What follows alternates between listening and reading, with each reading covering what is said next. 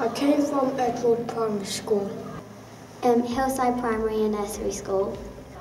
I came from Hillside Primary and Nursery School. I came from Holgate Primary School.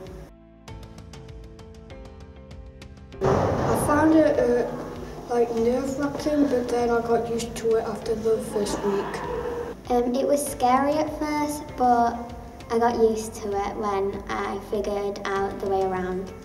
It was a bit nerve-wracking, but I was still excited to come. At first I was a bit nervous, but I got used to it on the first at the end of the first week. And they gave us transition booklets, stationery um, packs, and also a tour around both parts of the school. They gave us they gave us a stationery set, and they gave us a virtual tour around the school before we actually came. They gave us a virtual tour and they emailed my parents and they did a lot of stuff to help me. Um, the first few, the first week I had butterflies and I was quite scared, but as soon as I got to know my way around, it was um, quite fun and all the staff were really helpful. It's been good. I was struggling at first, but now I got used to it. The first few weeks I was a bit nervous because I because I didn't know my way around the school, but after that uh, it was amazing. Um, they were actually really fun. I like all the lessons and I can't wait to move up. The staff are really helpful. On the first week I was a bit lost and they helped me lots.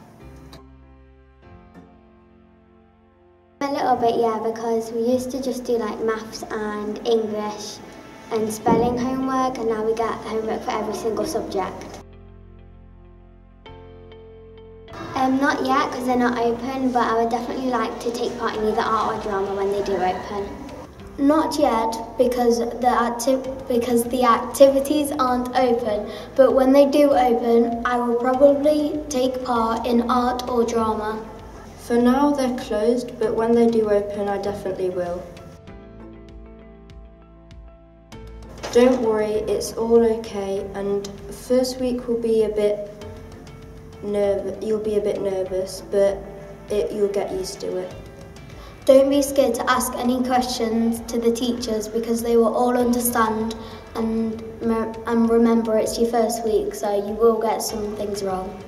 I would say it's all okay. You might struggle on the first week, but then you'll get used to it. There's staff to help you, and, uh, and people with the green. What's it called? Green vest uh, will help you a lot. Um, don't be worried. You might be worried on the first week, obviously, but once you get to know your way around school, it's really fun and all the teachers will definitely help you and yeah, it's really fun.